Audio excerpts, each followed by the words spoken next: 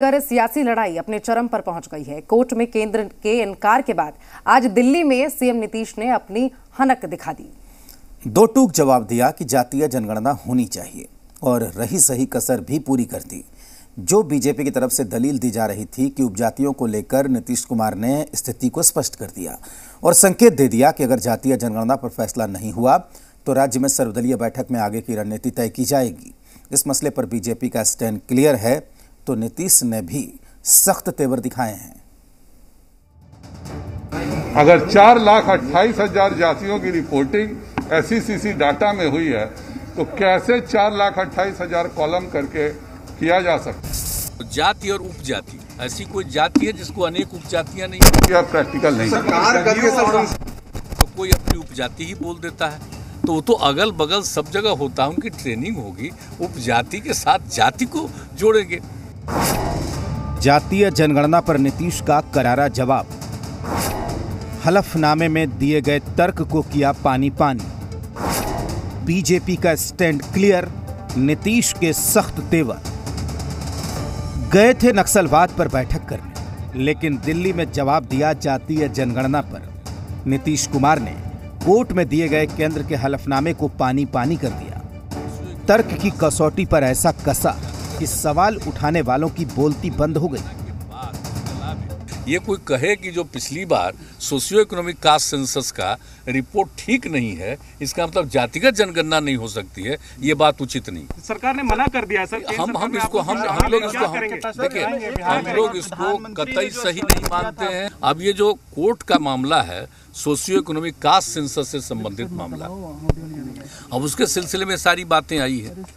तो इसका उससे कोई संबंध नहीं है। हम तो यही आग्रह करेंगे कि इस चीज़ पर ठीक ढंग से विचार करके, पुनर्विचार करके जिसको जातिगत जनगणना कराए। बात इतनी ही नहीं, कल तक बीजेपी के जो दिग्गज उपजातियों का हवाला दे रहे थे, आज उन्हें उन्हीं उपजातियों के तर्क पर नीतीश कुमार ने ऐसा घेरा कि उनकी बोलती बंद हो गई। अब बीजेपी की तरफ़ से सफ़ाई दी जा रही है।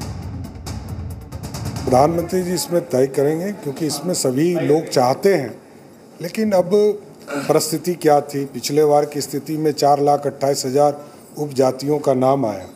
तो ये कॉलम में नहीं हो सकता है राज्य सरकार को इसी के लिए स्वतंत्र किया गया है कि जो भी राज्य सरकार है, वो इस चीज़ों को करें। लेकिन राष्ट्रीय स्तर पर थोड़ा कठिनाई आ रही है, जिस पर देश के प्रधानमंत्री इसको चिंता कर रहे हैं कि इसको कैसे व्यवस्थित किया जा सकता हम नहीं समझते हैं कि जब तक कि कोई प्रधानमंत्री जी का स्पष्ट निर्णय नहीं आ जाता है तब तक हम लोग को निराश होने की भी ज़रूरत नहीं है। नीतीश कुमार ने जातीय जनगणना को लेकर सख्त संदेश दिया है लेकिन महागठबंधन को अभी भी नीतीश कुमार पर भरोसा नहीं है क्योंकि वो अभी भी बीजेपी के साथ खड़े हैं। यदि आप सही मायने में जातीय जनगणना के समर्थक हैं तो आप ये ऐलान कीजिए कि हम एनडीए के जो दिए गए हल्फनामे हैं, उसका विरोध करते हैं और इनसे नाता रिश्ता हम तोड़ते हैं। तो उस दिन भी एक शब्द नहीं बोले। अब तो हलफनामा दे के उन्होंने साबित कर दिया कि नहीं, उनका कोई इसमें इंटरेस्ट नहीं है, वो नहीं चाहते अगर मुख्यमंत्री जी की नीयत ठीक है तो उन्हें कायदे से अपने खर्चे से बिहार में जातिगत आधार पर जनगणना करा लेनी चाहिए, जैसा उन्होंने कहा भी था। और नहीं तो एनडीए से बाहर आ जाना चाहिए। महागठबंधन को नीतीश पर भले भरोसा ना हो, लेकिन नीतीश कुमार ने यह मैसेज देकर साफ़ कर दिया है कि अगर केंद्र उनकी मांग से इत्तेफाक नहीं रखती है तो राज्य में वो अलग से इस पर कोई फैसला ले सकते हैं। संभव है अगर ऐसा फैसला हुआ तो बीजेपी के पेशानी पर बल पड़ जाएगा। दिल्ली से नेहा के साथ प्रीतम जी मीडिया पटना। विश्व के महामंच पर अपनी छाप छोड़ने के बाद प्रधानमंत्री